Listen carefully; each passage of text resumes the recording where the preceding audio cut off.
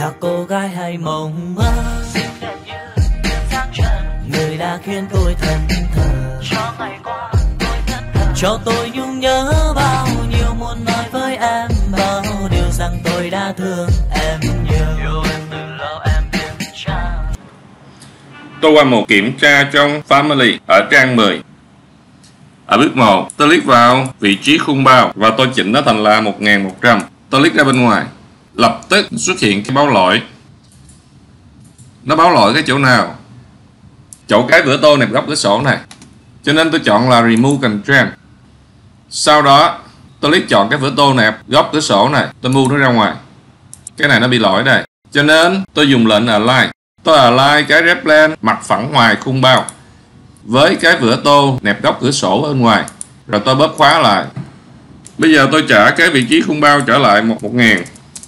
Tôi click ra bên ngoài thì nó hết báo lỗi. Tiếp tục tôi click chọn cái V08 vị trí lớp vữa tô nẹp thẳng. Tôi chỉnh nó thành là 1500. Tôi click ra bên ngoài, lập tức xuất hiện cái báo lỗi và tôi chọn là Remove Constraint. Thì cái lớp vữa tô nẹp thẳng này nó không còn gắn vào cái replan nữa. Cho nên tôi dùng lệnh Move, tôi move nó lọt ra bên ngoài để chúng ta dễ nhìn. Sau đó tôi dùng lệnh Align. Tôi align nó vào cái replan bên trên của vị trí lớp vữa tô nẹp thẳng. Rồi tôi bóp khóa lại. Sau đó, tôi trả cái giá trị của V08, vị trí vữa tô nẹp thẳng thành 980 tôi click ra bên ngoài, thì nó hết báo lỗi như thế này. Các bạn kiểm tra các thông số còn lại, để xem coi family chúng ta còn có cái lỗi chỗ nào hay không. Bây giờ tôi qua một kiểm tra trong project ở trang 12 tôi qua 3D tôi click chọn cái khung bao. Sau đó tôi click vào visibility graphic override.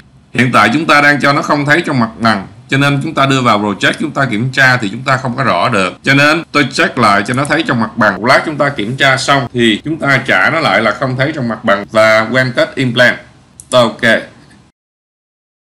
Sau đó tôi open cái project kiểm tra cửa ra. Nó nằm ở trong đó, cửa đi gỗ. Và tôi mở cái project kiểm tra cửa. Tôi trở lại family và tôi load nó vào trong project sau đó tôi escape hết lệnh. Tôi xóa cái trường hợp tường tách lớp ở trên đây đi. Chúng ta có hai cái loại tường, đây là tường ba lớp và đây là tường tách lớp. Tôi xóa hai cái cửa đi đi.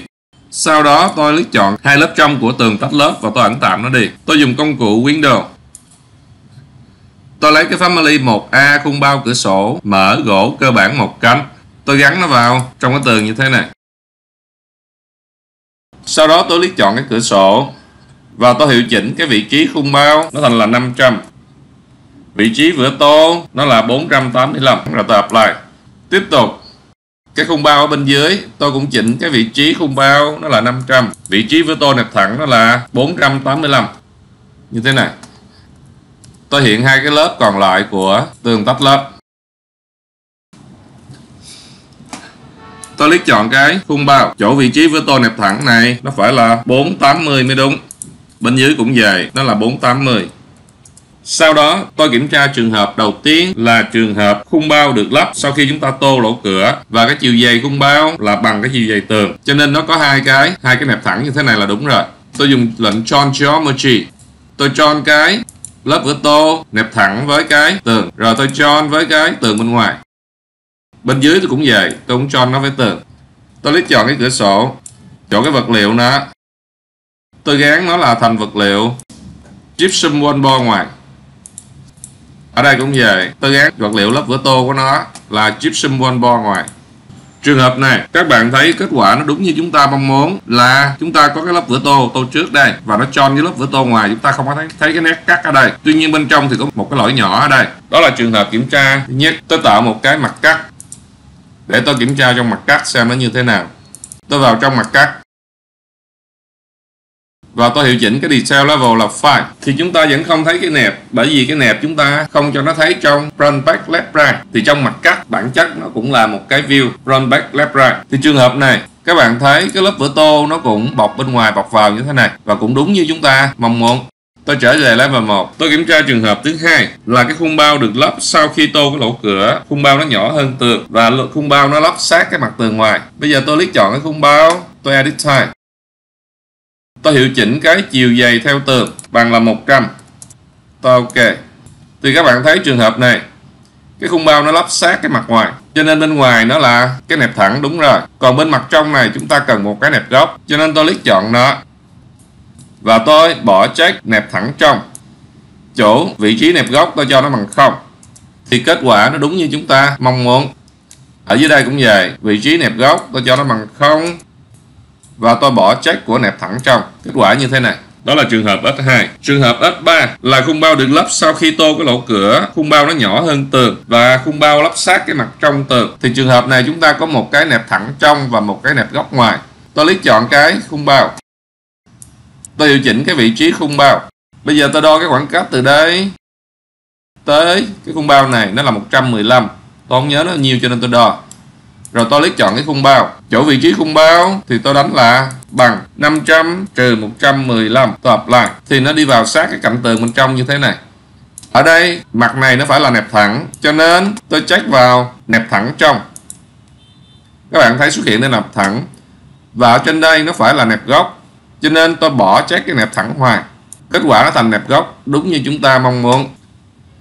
Trường hợp bên dưới cũng vậy. Tôi lấy chọn cái khung bao bên dưới. Tôi hiệu chỉnh cái vị trí khung bao là 385 sau đó tôi bỏ check của nẹp thẳng ngoài và tôi check vào nẹp thẳng trong. Kết quả cũng giống như trường hợp bên trên đúng như chúng ta mong muốn về cái cấu tạo của cửa. Tôi qua trường hợp S4 là khung bao được lắp sau khi tô lỗ cửa, khung bao nhỏ hơn tường và khung bao nó nằm giữa tường. Tôi lấy chọn cái khung bao, tôi hiệu chỉnh cái vị trí khung bao nó là 400 để nó chạy vô giữa tường. Tôi đổi thành là 450 đi cho nó rõ hơn. Bây giờ khung bao chúng ta nằm giữa tường cho nên tôi cần hai cái nẹp góc. Tôi bỏ check của 19 nẹp thẳng trong. Lập tức nó chạy vào trong như thế này và xuất hiện có hai cái nẹp góc ở đây. Đúng như chúng ta mong muốn. Bên dưới cũng vậy. Tôi sửa cái vị trí khung bao thành là 450. Và tôi bỏ check của 19 nẹp thẳng trong. Kết quả như thế này. Tôi kiểm tra trường hợp T1 là trường hợp khung bao được lắp trước khi tô cái lỗ cửa. Khung bao dày bằng tường, cho nên nó có hai cái nẹp thẳng Bây giờ tôi click chọn cái khung bao lại. Tôi edit size và tôi hiệu chỉnh cái chiều dày theo tường là 215. Tôi ok. Vậy thì khung bao nó bằng cái chiều dày tường. Tôi hiệu chỉnh cái vị trí khung bao là 500 ở đây khi khung bao nó bằng cái chiều dài tường á, thì chúng ta cần hai cái nẹp thẳng. Cho nên tôi check vào 10, 17 nẹp thẳng ngoài và 10, 19 nẹp thẳng trong. Tôi apply. Nó xuất hiện hai cái nẹp thẳng như thế này là đúng rồi. Tuy nhiên trường hợp này chúng ta đang muốn rằng á là chúng ta lắp khung bao xong rồi chúng ta mới tô tường. Cho nên chúng ta không thể nào tô được cái lớp vữa tô nẹp thẳng ở đây được. Cho nên tôi bỏ check V05 lớp vữa tô nẹp thẳng. Kết quả như thế này. Đúng như chúng ta mong muốn về cấu tạo. Bên dưới cũng vậy. Tôi click chọn nó. Tôi điều chỉnh vị trí khung bao là 500. Tôi bỏ check của lớp với tô nẹp thẳng và tôi check vào 17 nẹp thẳng ngoài, 19 nẹp thẳng trong. Tôi apply. Lập tức cấu tạo đúng như chúng ta mong muốn. Đó là trường hợp T1. Trường hợp T2 là khung bao được lắp trước khi tô cái lỗ cửa, khung bao nhỏ hơn tường và khung bao lắp sát mặt ngoài tường. Tôi click chọn cái khung bao, tôi edit size, tôi điều chỉnh cái chiều dày theo tường lại là 100. Tôi ok lập tức khung bao nó nhỏ hơn tường và nó đang lắp sát cái mặt ngoài tường. Thì trường hợp này cũng thường gặp trong cái cửa sổ. Trường hợp này bên trong chúng ta cần cái cái nẹp góc cho nên tôi bỏ check cái nẹp thẳng trong. Chúng ta sẽ xuất hiện cái nẹp góc ở đây. Tuy nhiên chúng ta cần phải tô cái mặt tường ở đây. Cho nên tôi hiệu chỉnh cái vị trí nẹp góc là 15 ly để nó xuất hiện lớp vữa tô. Rồi tôi dùng lệnh align tôi align lớp vữa tô vào sát tường. Kết quả đúng cấu tạo như chúng ta mong muốn. Trường hợp này chúng ta chỉ cần đổi cái vật liệu lớp vữa tô thay vì nó là gypsum one bo ngoài, thì tôi đổi thành là gypsum one bo trong. Rồi tôi chọn geometry nó với cái lớp vữa tô trong. Lập tức nó mất nét, nó đúng cấu tạo như chúng ta mong muốn thế này. Đối với tường, ba lớp bên dưới cũng vậy. Tôi hiệu chỉnh cái vị trí nẹp góc là 15 rồi tôi bỏ chết của nẹp thẳng trong. Sau đó tôi dùng lệnh align. Tôi align lớp vữa tô trong lại như thế này. Rồi tôi đổi cái vật liệu lớp vữa tô là gypsum one bar trong. Tôi ok. Sau đó tôi chọn geometry lớp vữa tô trong với tường lại. Lập tức nó đúng cấu tạo chúng ta mong muốn. Đây là trường hợp T2 bây giờ tôi qua trường hợp T3 là khung bao được lắp trước khi tô cái lỗ cửa. Khung bao nhỏ hơn tường và khung bao lắp sát cái mặt bên trong của tường. Tôi lấy chọn cái khung bao và tôi hiệu chỉnh cái vị trí. Khung bao là 385 lập tức nó sẽ chạy sát cái mặt bên trong như thế này bây giờ bên trong nó bằng mặt tường, cho nên á, là nó cần một cái nẹp thẳng trong. Tôi click vào, tôi check vào nẹp thẳng trong. Thì bên trong nó xuất hiện cái nẹp thẳng trong như thế này. Và khi đó, bên ngoài á, thì chúng ta cần cái nẹp góc ngoài. Cho nên tôi bỏ check của nẹp thẳng ngoài. Như thế này. Tôi dùng lệnh là align. Tôi align lớp vữa tô và mặt tường. Tôi đổi cái vật liệu của nó thành là gypsum one bo ngoài. Rồi tôi cho nó lại. Kết quả đúng cấu tạo chúng ta mong muốn. Trường hợp bên dưới, cho tường ba lớp cũng vậy tôi lấy chọn cái khung bao tôi hiệu chỉnh cái vị trí khung bao là 385 tôi lại. sau đó, tôi check vào 19 nẹp thẳng trong và tôi bỏ check 17 nẹp thẳng ngoài. Tôi apply.